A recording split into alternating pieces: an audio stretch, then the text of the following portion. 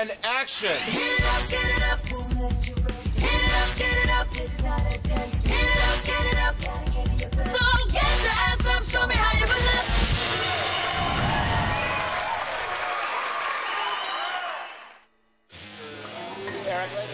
Steven was amazing from day one. I really felt that I had a connection with him as if I'd known him. There was something about him that I felt I'd known my whole life.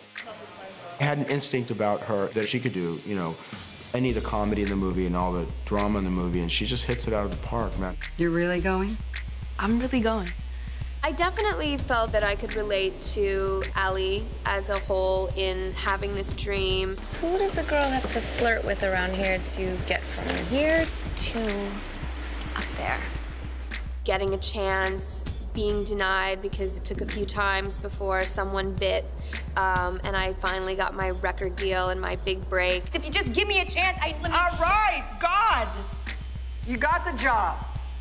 I was surprised that she hadn't made a film before, but then I also thought what a good idea it is to have waited to find a role that's really so suited to you and sort of shows off all your talents.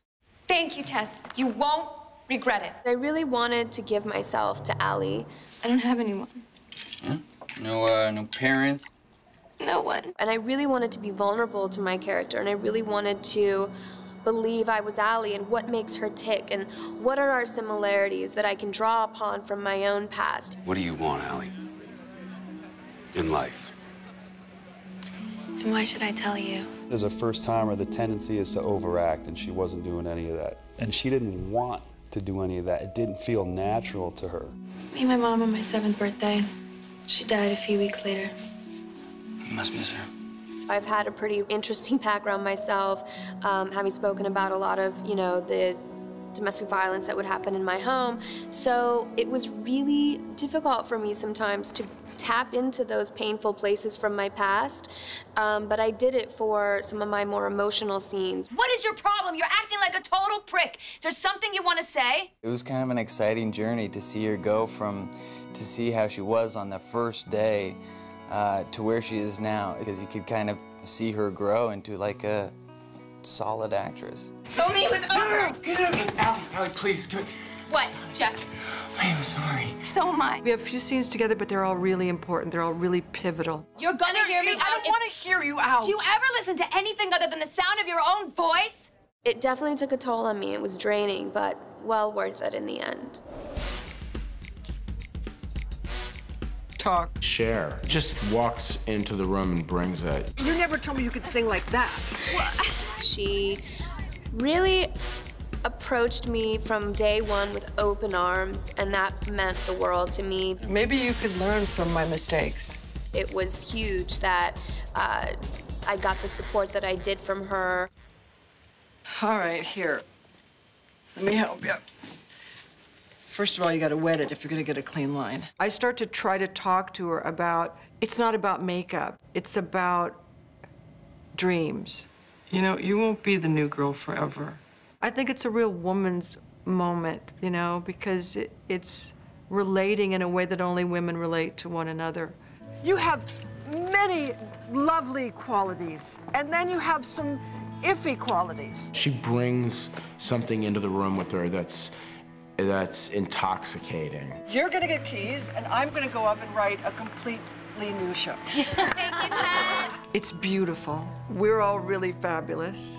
I'm amazing. Is that really what's best for me or what's best for you? I don't know. I hope it's best for both of us.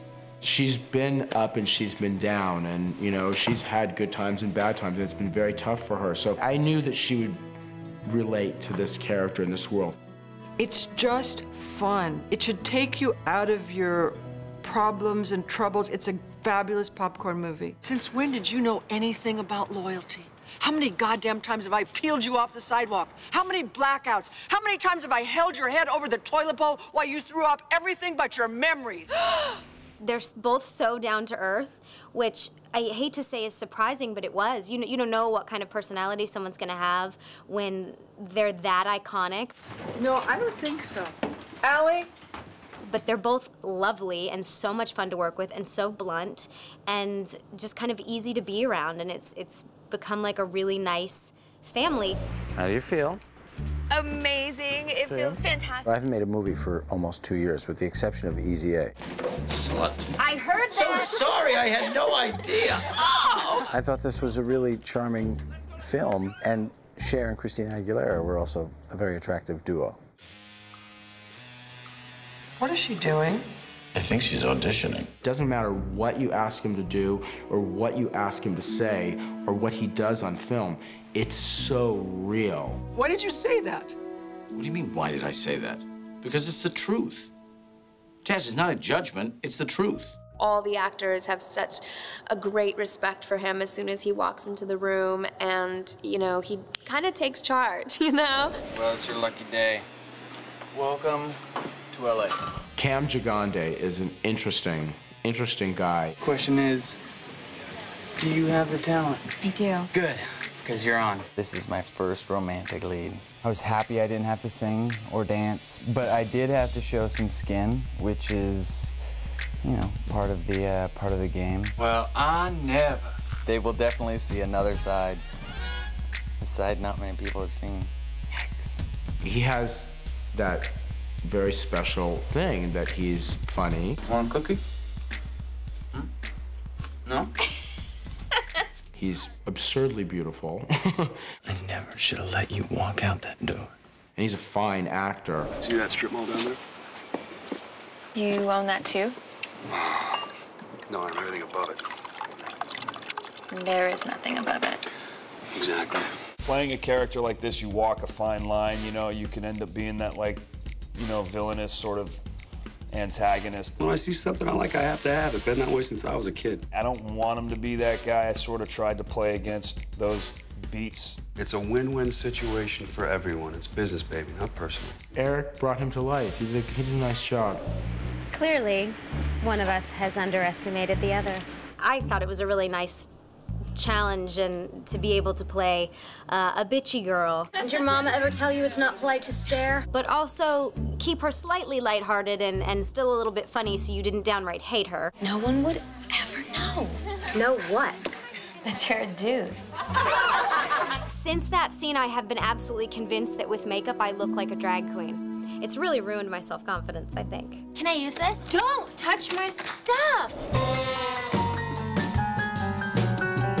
I literally started dancing, singing, and acting all at the same time growing up in Utah and actually moved to London and went to performing arts school there too from when I was 10 to 15.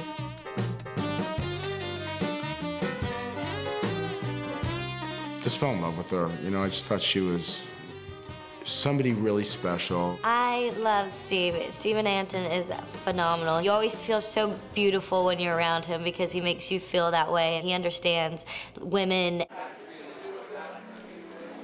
Burlesque is about female empowerment, and that's why Christina loves and lives the role. That's why Cher loves and lives the role. That's why, you know, Kristen Bell and Julianne Hough and all of these women, because this is women who are at the top of their game. And don't ever call me ma'am again. It's a type of woman that Christina and Cher love, respect, and are. I'm gonna go get dressed for the show.